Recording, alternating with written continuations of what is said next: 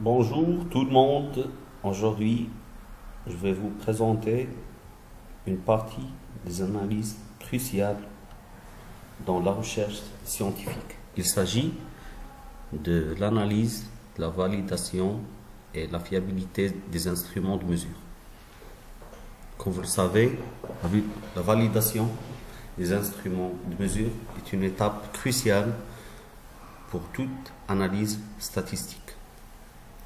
Donc, pour ce faire, et en utilisant SPSS, ce logiciel nous permet de, tirer directement un ensemble d'indicateurs permettant la validation euh, des instruments de mesure.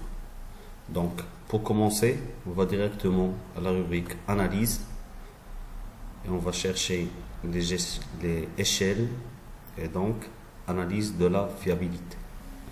Donc, comme vous savez, ce menu nous permet la vérification des instruments de mesure grâce à un ensemble d'indicateurs. Le plus connu, c'est l'alpha de Cronbach ou bien l'indicateur KMO ou, ou d'autres indicateurs. Donc, on va ici choisir l'alpha de Cronbach. On va aussi choisir les statistiques qu'on veut tirer. Donc, on peut aussi choisir des caractéristiques pour des items, des échelles. On peut aussi demander les corrélations entre les variables et bien d'autres indicateurs. On va mettre poursuivre et on va choisir les items qu'on veut analyser leur fiabilité. Donc, comme pour euh, cet exemple, on va analyser la fiabilité d'un certain nombre d'éléments qui concernent le développement des services au sein des entreprises publiques.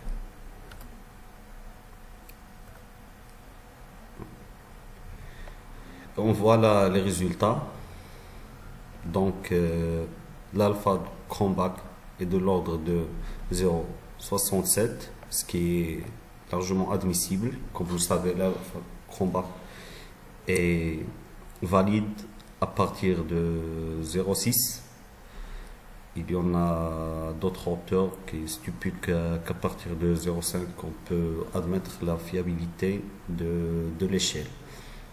Donc, aussi, on a un ensemble restreint de statistiques descriptives concernant les différents items, la matrice de, corrélation,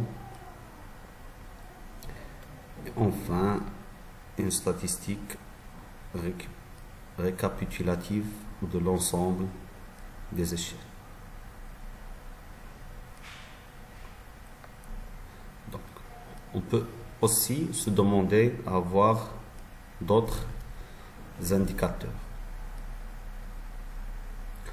Donc, pour avoir d'autres indicateurs, par exemple, si on veut chercher l'indice KMO par exemple, on a besoin d'aller à la réduction des dimensions. On va faire une analyse factorielle et on va choisir les mêmes éléments.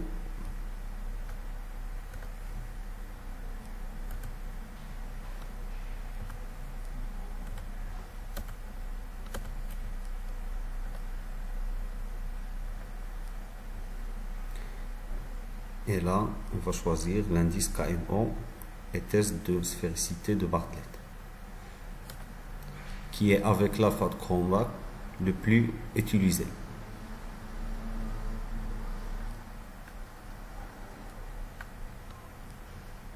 Et donc euh, voilà, dans les sorties, on peut trouver ce tableau très important dans l'analyse de la fiabilité.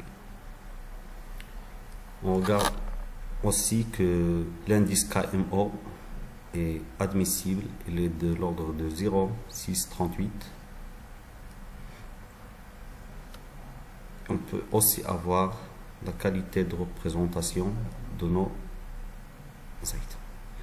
Donc, en résumé, ces items peuvent être réduits en deux axes factoriels ou bien en deux échelles de mesure. Merci et bon courage.